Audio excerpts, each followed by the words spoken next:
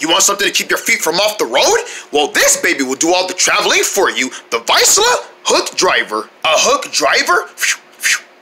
It's not really attached to anything. Well, by hooked, you mean it's attached with a charger that's attached to get that four-engine drive.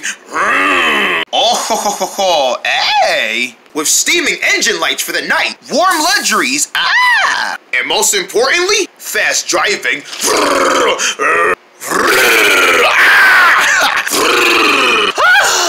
Oops! That was a mistake. Oh wait, come back! We'll take it. The Vicela Hook Driver, powered enough to give you a two-engine driver for your road trip among the duties.